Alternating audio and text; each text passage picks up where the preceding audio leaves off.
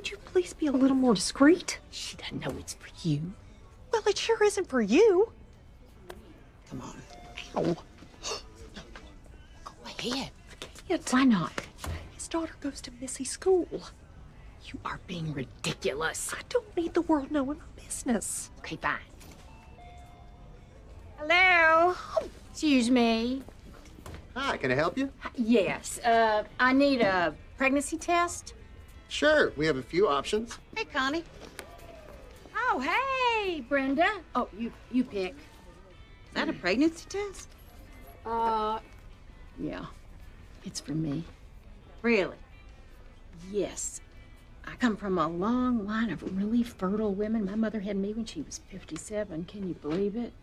I don't think I can. Dr. Sturgis and I've been dating for some time, and we really try to be careful, but you know how it is. Of the moment.